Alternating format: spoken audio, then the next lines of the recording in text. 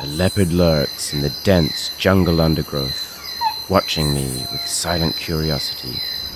Tonight we're exploring some lower elevation jungle here in Sabah, Malaysian Borneo, an area famous for these beautiful yet stinky Rafflesia flowers. Their pungent stink attracts flies and beetles that serve as pollinators. After it got dark, I donned my stylish new yellow rain boots and entered the jungle via a small stream. Things got off to a good start with this beautiful spotted stream frog. Such a brilliant orange. Contrasting that, this little spotted rock skipper has some intense green hues.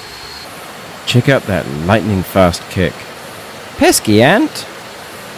These frogs have a rather distinct sexual dimorphism regarding size.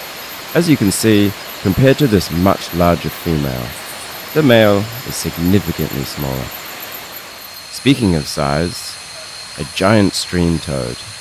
This one is likely a male, as the females can get much larger than this. Like many toads, these can secrete toxic poison if disturbed, so we'll leave it to its toad business. Leaving the stream, I scour the leaf litter, as there is an even more impressive frog species here I hope to find. And this forest clearing does not disappoint. A long-nosed horn frog.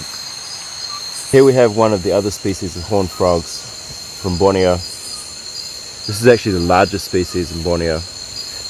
Check out the size of it next to my hand. Really big. Pelobatrachus nasutus, with even more exaggerated horns and an even more dramatic, silly face than the species I found the night before.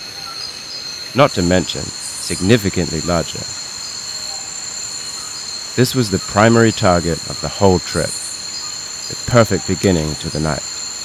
In addition to the highly developed supraorbital horns, they also have these distinct skin folds which really add to the impressive dead leaf camouflage. As largely ambush predators, this aids them in laying in wait for unsuspecting prey and to hide from predators. You can see the pointy little nose there. What a face. And what a remarkable creature. Starkly contrasting in size, these tiny sticky frogs also exhibit amazing dead leaf camouflage. Not long after was when I happened across the leopard cat. This is a Sunda leopard cat, and it's just chilling there doing cat things, giving itself a good wash. In fact, they are roughly the size of domestic cats, but have spots like a leopard. This species live in tropical evergreen forests throughout Southeast Asia, where they mostly feed on rodents, of which there are many here, as well as other small animals. It seems pretty chill with my presence.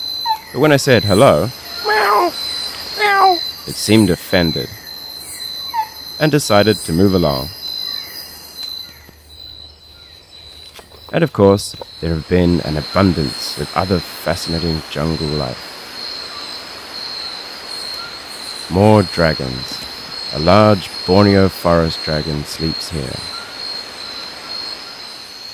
And these unbelievable Godzilla stick insects, beasts of the sci fi fantasy realm, covered in fearsome horns and spikes.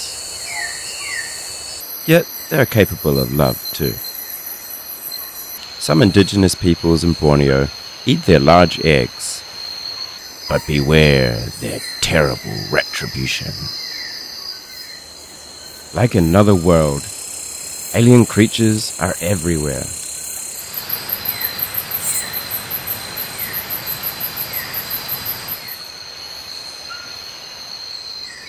And pretty birds too, sleeping safely in the branches and the vines. The jungle is full of vines, some that even appear to move. Perhaps they are not vines at all. A blunt head slug snake Aplopeltura boa. Look at this. So cool. I've been walking for hours and not seen a snake. And then right here, just as I was leaving the forest, Aplopeltura boa. I don't know how I was even able to see this. The camouflage is incredible. Even my camera autofocus thinks it's just a piece of stick or a vine. These are non venomous, and as their name suggests, they eat slugs and snails, which is why they are so slow moving.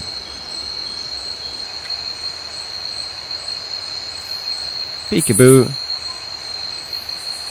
But it is incredible to watch it slowly moving through the vines like this. This is one of the snakes I'd really hoped to see here in Poring, so what a great way to end tonight's walk. They're quite common throughout Malaysia, Indonesia, the Philippines, and southern Thailand.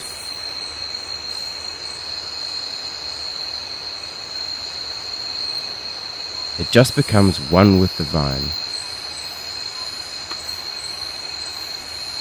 What a perfect end to my second night in Borneo. And I'm literally only about 10 meters from leaving the jungle. Amazing. Thanks for watching.